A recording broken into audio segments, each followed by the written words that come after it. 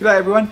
In this video I'd just like to run through um, how to set up your RC2HL board with the new Turnigy 8, well the old 8 Turnigy 8 channel receivers. Uh, new software on the board allows you to connect up with these receivers and um, I'll show you how to do that in this video.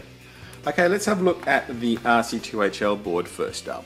Okay a few new additions to the design. Um, first up here you'll see uh, an output port A1, A2, A3, A4. That is simply um, a repeat of the receiver signals. So whatever is sent in on from channel 1 is split.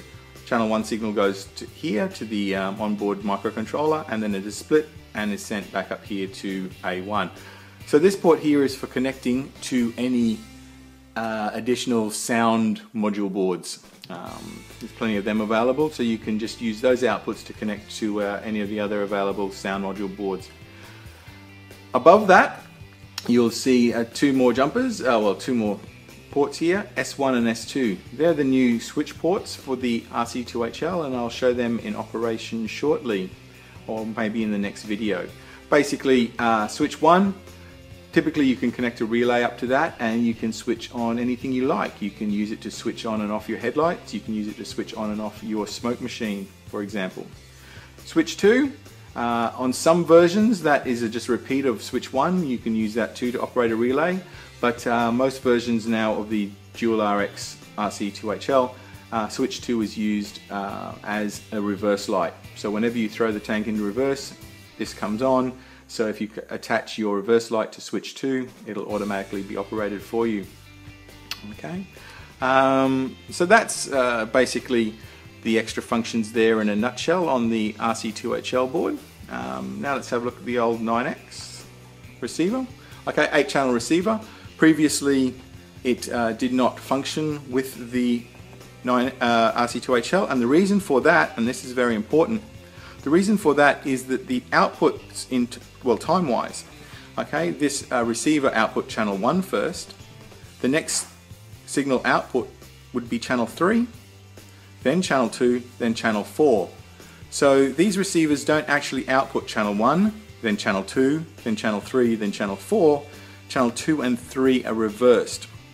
Okay, so on these receivers it outputs channel 1, then it outputs channel 3, then it outputs channel 2, then it outputs channel 4. And that was the whole problem with these receivers at the start. So to combat this, okay, you just have to do a, a little a little funky little change to the uh, RC2HL to get it to operate. First up, on the RC2HL itself, you may notice here, hiding, a bit of camouflage here, that there is a jumper. Okay, if you are using the 8 channel receiver, you must have this jumper closed. Okay, so if you are using the six channel receiver, you simply, you know, open the jumper, okay? And you could use the six channel receiver. But we're gonna be using the eight channel receiver, so make sure that jumper position is closed. The next, and probably, well, the most important thing, is to remember how the signals are output from this receiver. Okay, one, three, two, and four. That is why the inputs on the RC2HL, rather than being labeled channel 1, channel 2, channel 3, channel 4, they're labeled in 1, in 2, in 3, and in 4. So we want connected up here the signal that is output first, then the signal that is output second, the signal that is output third, and the signal that is output fourth. So when it comes to connecting up our 8 channel receiver, channel 1 is output first, so we connect up channel 1 now that must go into input 1. Now, get our next lead, channel 2.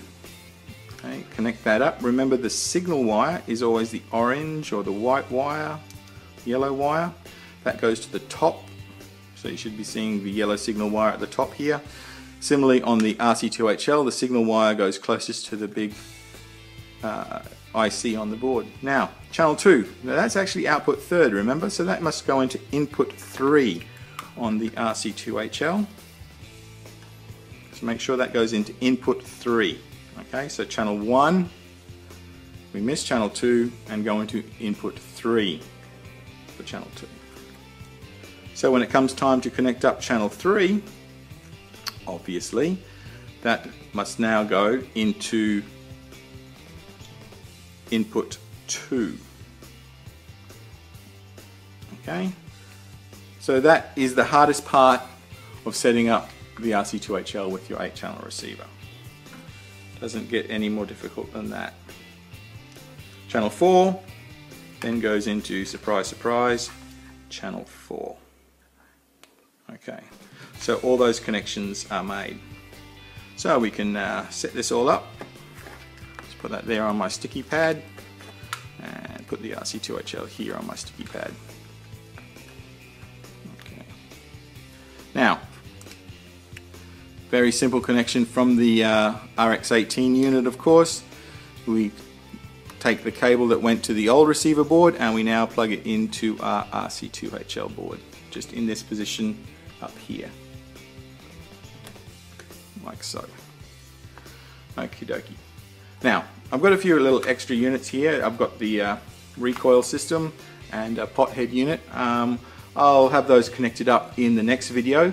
But basically the program that runs on the 9X will operate your recoil servo automatically if you plug the recoil servo into channel 5 the pot head can be used to control your tank volume and if you connect that up to channel 6 now that's all the programs that run on the 9X you of course then still have channel 7 and channel 8 to plug in whatever you would like um, so you have quite a bit of control over your tank using this system. Okay, once we have it all set up, it's time to turn the system on. Now with any proper hobby style radio, you need to turn the radio itself on first. Okay. Once we turn the tank on, if everything is connected up properly, the indicator LED on the RC2HL will light and we are ready to start up. So let's just turn our tank on.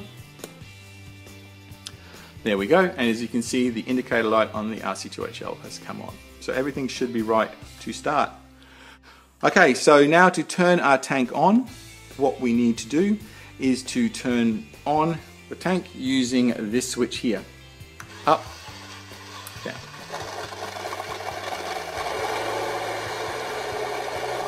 Okay, so that's turning on and off the tank, well, turning off.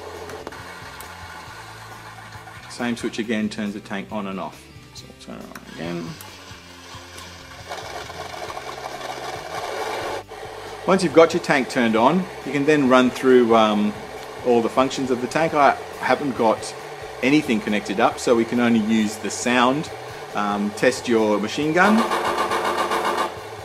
cannon fire. Okay, those switches are assigned to the back there. They will also operate from uh, your lever here.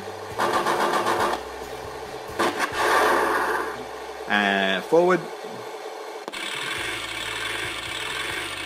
reverse, turret rotation, and gun elevation. Okay, so that's everything set up correctly using the 8 channel receiver and the uh, RC2HL. If we wanted to connect up those extra functions, of course, as I said, channel 5 for the servo recoil so we can just connect him up. So we just push him in there. Now when we fire the gun automatically we'll have our recoil. Okay so all that is automatically set up programmed into the uh, 9X radio. As I said for the volume control we'll plug him into channel 6 and then you have to remove your old plug and uh, stick the new plug in. Of course the volume will go a bit crazy while this is occurring. There we go oh luckily we have the volume set as zero and now we slowly can turn the volume up